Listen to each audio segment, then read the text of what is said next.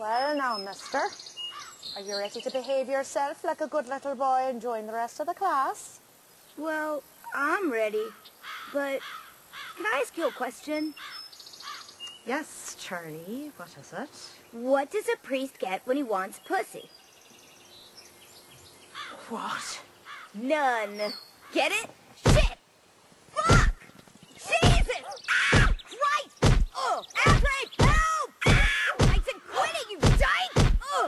Uncle! Young man, one day you're going to wind up in prison. On your way to hell!